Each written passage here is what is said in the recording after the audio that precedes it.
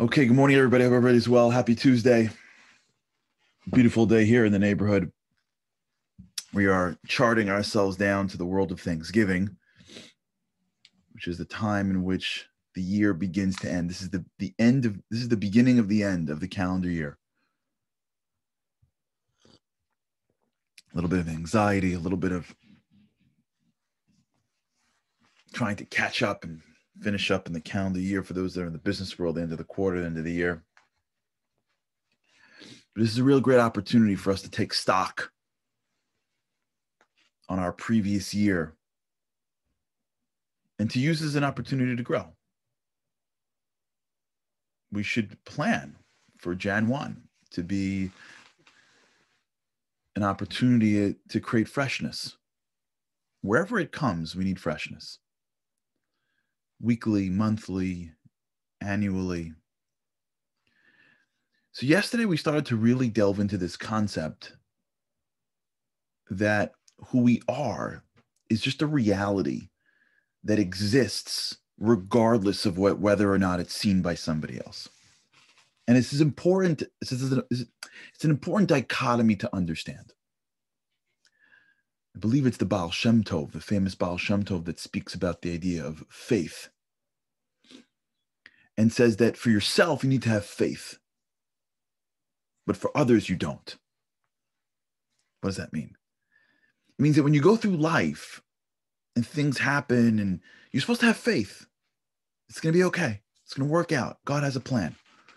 But when someone comes to you with their problems, you're not supposed to say, well, just have faith. You're supposed to have no faith, if you will, and help them as if it was up to you. When it comes to your stuff, you can rely on God and you can rely on faith and you can rely on things bigger than yourself. But when someone else presents a problem to you, you can't say, you know what, you'll be fine. You know what, you don't need the money. Just rely on God. Your job is to act as if you have to do something. Same thing in this exact scenario. When it comes to others, we have to unlock it in them. Not because if we don't, it won't be there, but because we have the opportunity to give somebody something that they may not have found themselves. But it doesn't change the fact that it's a reality, whether somebody recognizes it or not. Whether we're learning it together now, maybe at age 40, 50, 60, or 70, or whether at 16, some teacher looked at you and said, Yes, you can. It doesn't change the reality that's always been there. And it'll always be there, regardless of whether or not somebody realizes it or not. And once we start to digest this reality, which is me and you are built with the energy that is a ray of the divine, that means inside us, within us, is a property that is infinite, that will never die, that is eternal, that is qualitatively more powerful than anything in the physical world. Once that idea, that awareness becomes a reality for our own thinking, then maybe in our past, somebody should have done something for us that they didn't. I heard some serious stuff throughout these past few days from, from many of your emails about the type of upbringing and the things that were said. Yeah, people drop the ball sometimes and say dumb things and say disempowering things. And that is unfortunate.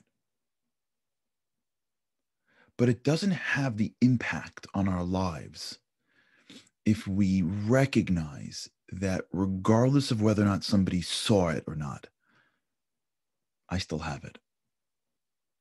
I still have a treasure within. I'm still living with the energy that is the creator of humanity. And so my potential is limitless. That realization is the foundation of true greatness. It's the foundation of real greatness. And it begins to open our eyes to a reality that nobody knows but us.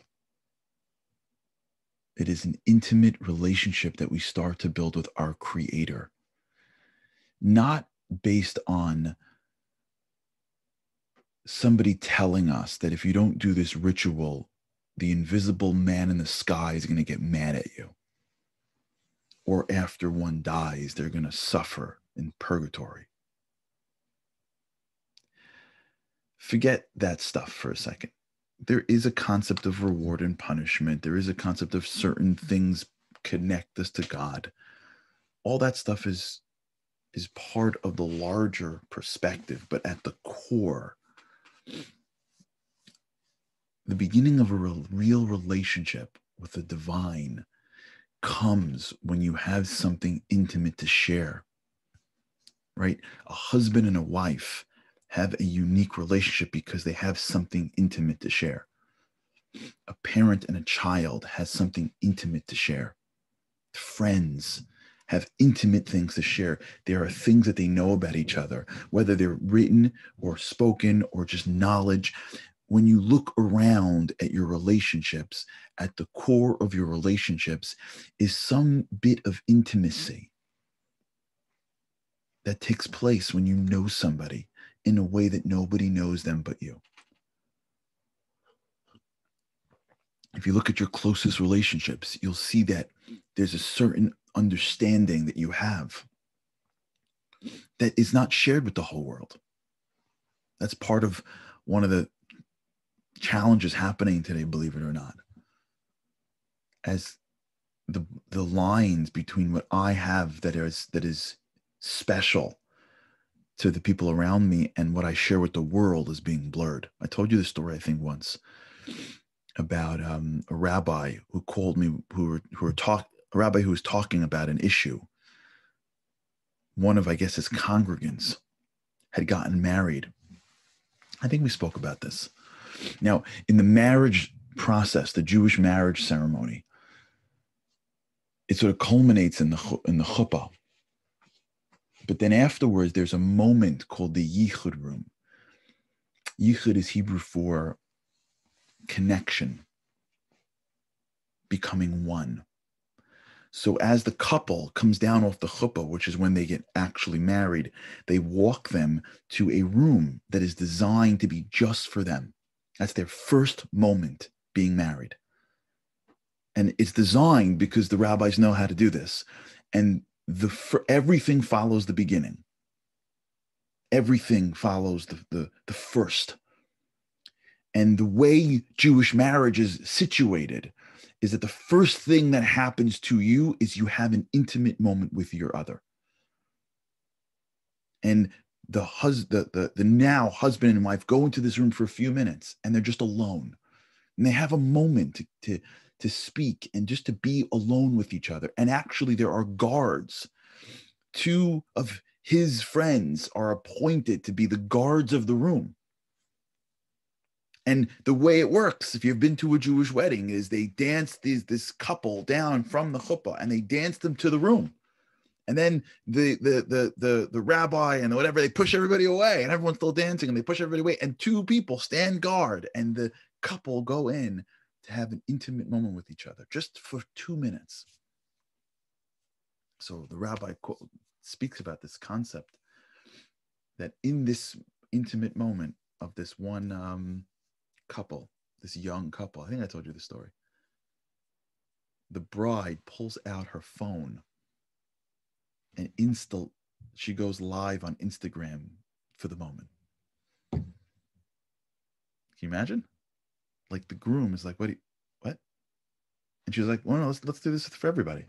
Let's broadcast our moment of intimacy. And I don't blame her, especially 21. Well, the girl who did it was. There's a blurred line between what is intimate and what is shared with the world in today's day and age.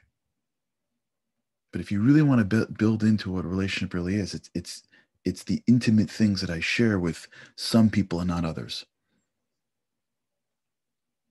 And the most intimate thing that you have in your life is your soul. The only person, that only thing that knows to the, the extent of it is God. That's the beginning of a relationship with the Creator based on intimacy. And as you look out into the world, once this becomes a reality, and you start to realize that your value on this world is not what you do, your value on this world is that you exist.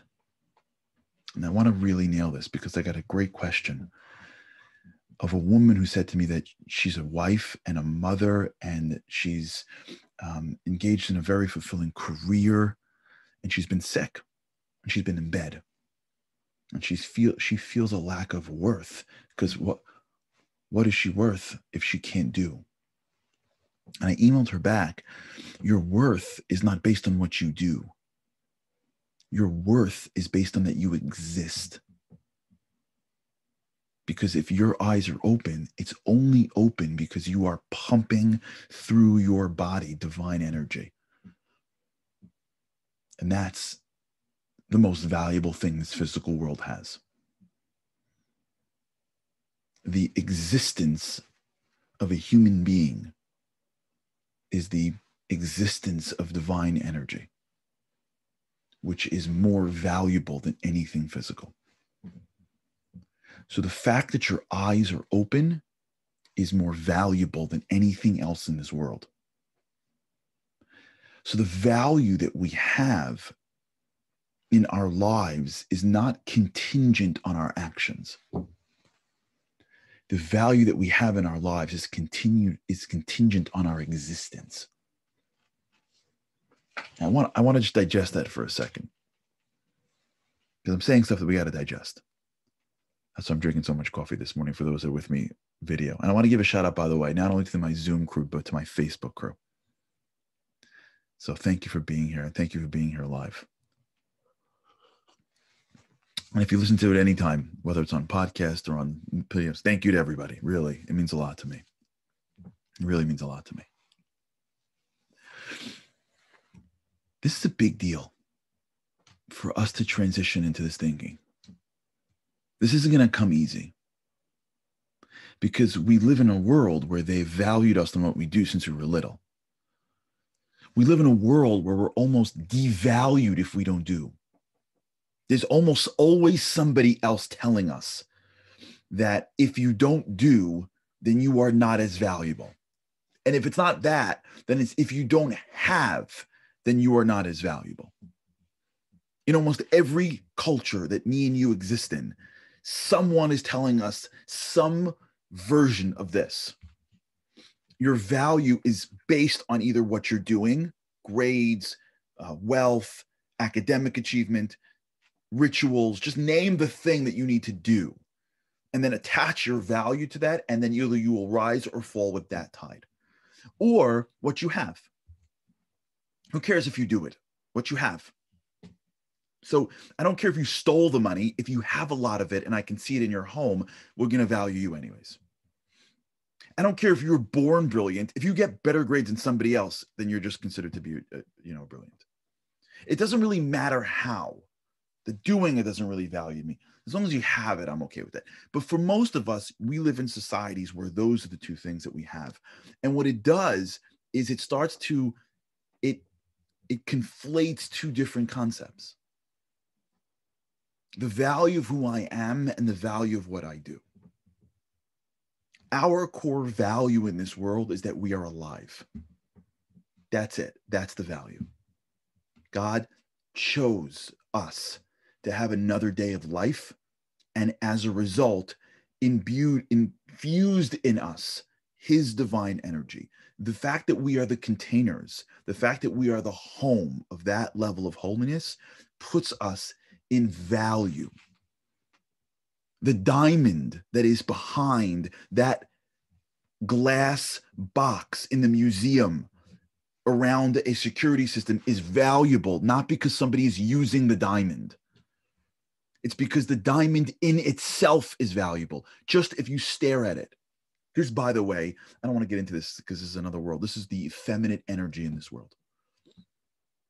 The feminine energy is the energy of understanding the essence of holiness. It's the uh, it's the energy of the recognition that I for myself is valuable. Which is why I'm not for now. Typically, when it comes to effeminate people,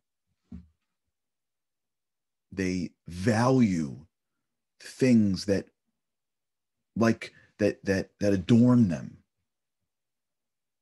jewelry and because there's there's physically there, there's a concept but also there's a spiritual piece to this maybe we'll do a men women class one day but there's a spiritual piece to the effeminate energy that believes in her core that i alone am valuable and worth adorning it's a whole nother conversation the masculine piece is the one that has to do do do do do which is why I usually don't find you find the, the gifts that you give to the masculine energy are, are utilities.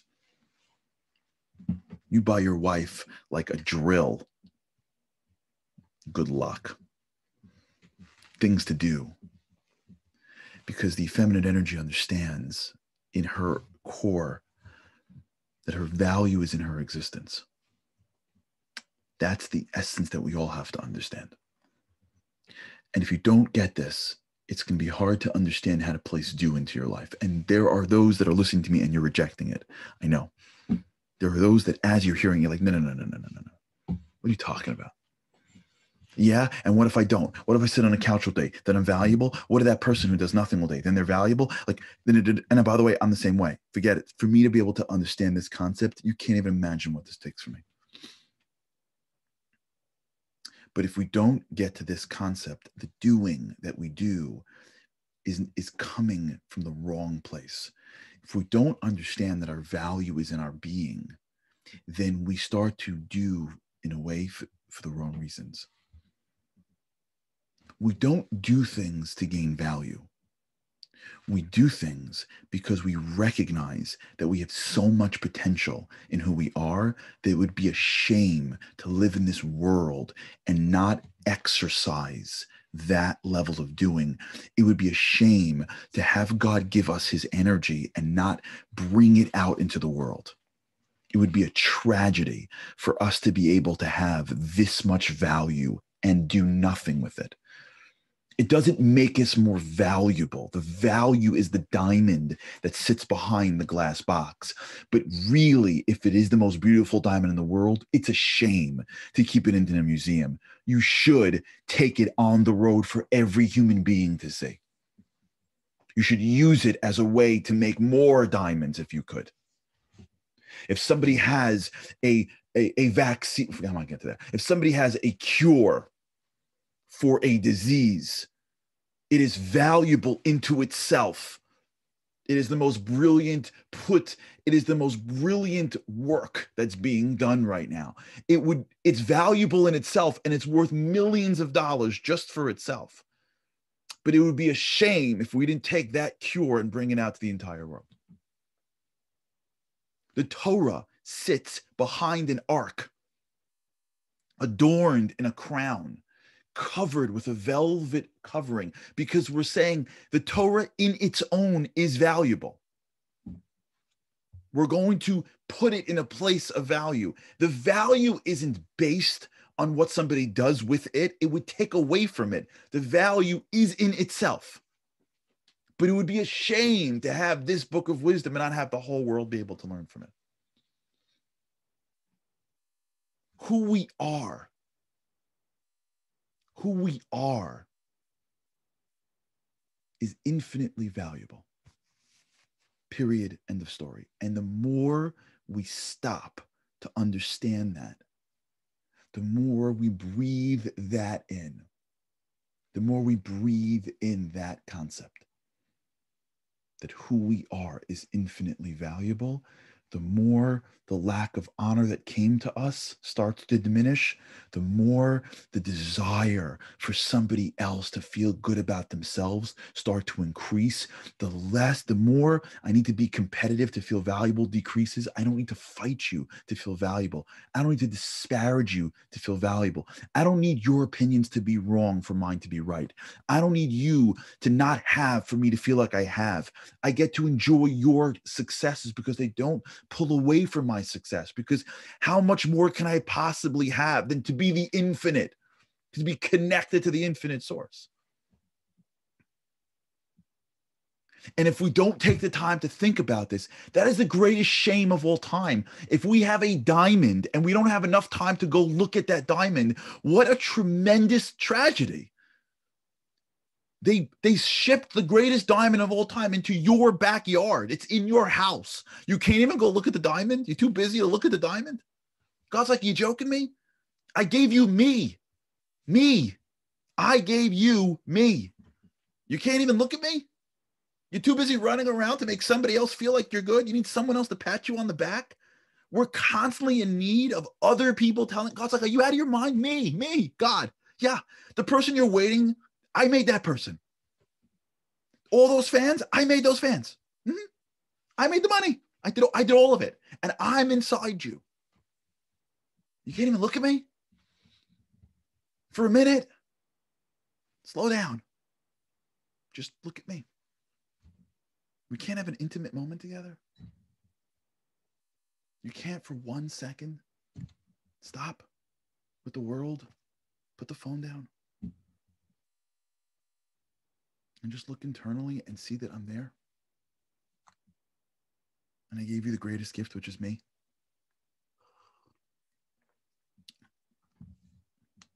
When you do that, when we do that, we breathe differently. The honor is different. Once we have a strong B, we can talk about doing. Until that B is strong, doing becomes a desperate plea for someone to look at my B. If you really want to do great things in life, it has to come off a platform of a strong B, not as a compensation to a weak B. And it begins by taking a minute to realize who we are. All right, we'll continue this. Oh, if we knew who we were. If I knew who I was, if you knew who you were, forget about it. This world would be a different place. All right, we're going to do it together. We're going to try at least. Thank you guys for being here today. We'll continue with God's help. Think about this today a little bit. Take a minute on the clock, 60 seconds. Begin this process of having an intimate, an intimate moment with your divine self. It's powerful stuff. All right. Have a great day. Can't wait to see you tomorrow with God's help.